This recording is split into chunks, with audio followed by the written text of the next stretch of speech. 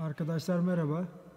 Bugün sizlerle Muş Alparslan Üniversitesi 2020 beden eğitimi sınav parkurunu inceleyeceğiz. Başlama noktamız mavi hunlerin olduğu yer. Birinci istasyonumuz öne takla.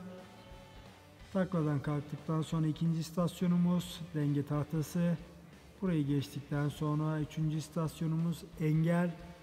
Birincisinin üstünden, ikincisinin altından, üçüncüsünün üstünden geçtikten sonra dördüncü istasyonumuz olan topları yer değiştirme. Burayı geçtikten sonra dikey slalomlar. Burayı da bitirdikten sonra labirentimiz var. Başlama ve bitiş noktalarını sarı hunilerle gösterdim. Biraz sonra uygulamalı olarak da göstereceğim zaten.